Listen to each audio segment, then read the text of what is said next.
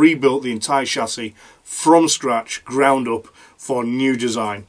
Uh, but this is the whole process. It takes. I mean, I've spent weeks doing. Well, I most probably spent uh, a month or so on designing and building that chassis on the computer. Uh, the new one has taken me.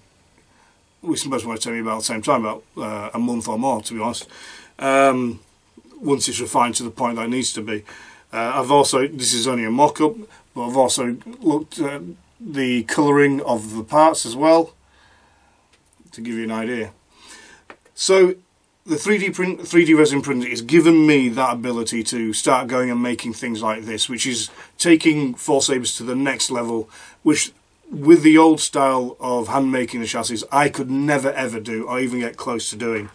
Which leads me to what we have, the main reason for this whole video now, uh, which is the new chassis. So this is the new uh, chassis that I'm going to be using and it is really really nice. I've decided to make all my chassis in white um, so it's a decision I'm going to take rather than black.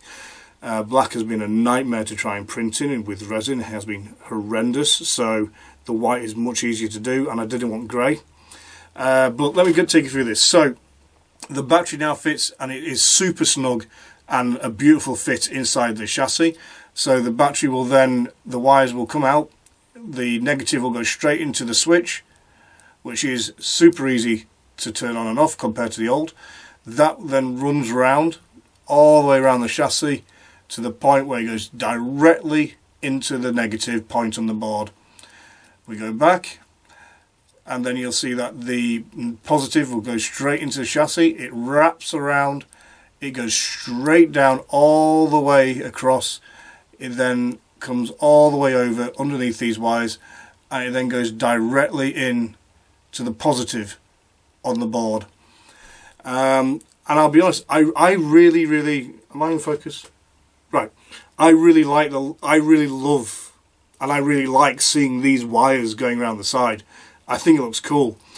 So I wanted people to be able to see that. So that's why the protective covering is now clear um, and it just everything just works so much nicer. The speaker wires, uh, if you can see them, that is all you can see of the speaker wire. Just those two little tiny wires coming into it, um, which is just so neat. So much focus on me. So much better it was. Um, I've upgraded the housing for the speaker. So before the uh, the metal mesh would sit directly on the speaker. Uh, and just as a, a note, uh, don't ever use your finger to push the metal mesh to push your chassis back inside. Always use a plastic. Always push the plastic to push your chassis, the chassis inside.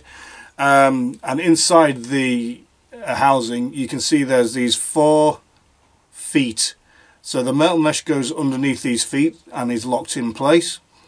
And the speaker sits directly on top of these four feet um, which means now that there's nothing touching the speaker. The speaker is completely free of any obstructions or issues that could possibly occur. Uh, it also provides better sound. So when I, if I was just to turn on the old chassis, uh, it wouldn't sound particularly great.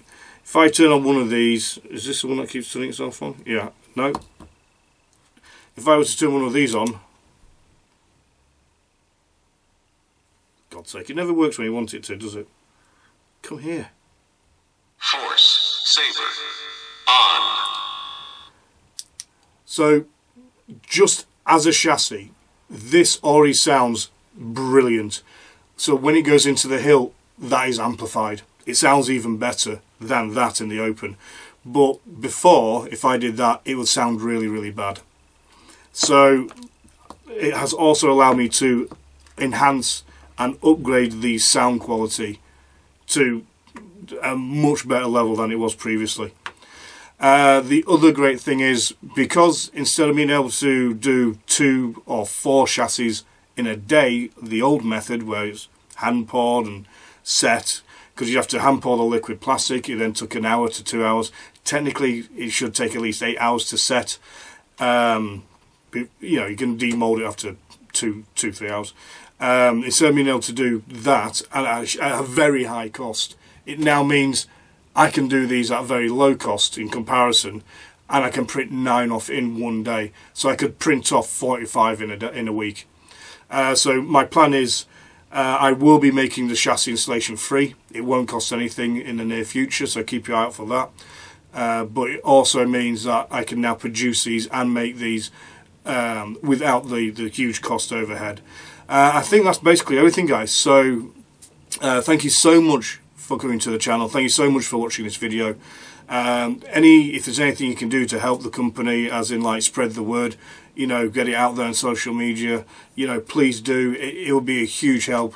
Uh, there's not many companies left that actually hand make uh, things and hand make the lightsabers from scratch. Uh, everything seems to be very much uh, mass produced lightsabers, and it seems like there's huge amounts of companies out there selling the exact same one at different prices. Um, but it means that a lot of sales are going directly to these companies that just bring in the lightsabers. Uh, and the sales from things like myself are, are dropping uh, quite dramatically. So uh, anything you can do to help will be will be absolutely appreciated. Uh, and it allows me to carry on making these things. It allows me to carry on making new design of lightsabers and new chassis uh, reveals with crystal, those new crystal reveal chassis. Uh, so um, yeah, uh, that, that's it for me, I think. Uh, thank you for checking out the channel. Uh, don't forget, I do have a Patreon, and I will see you soon in the next video, which will most probably be the part 4 of Lord of the Rings. Goodbye.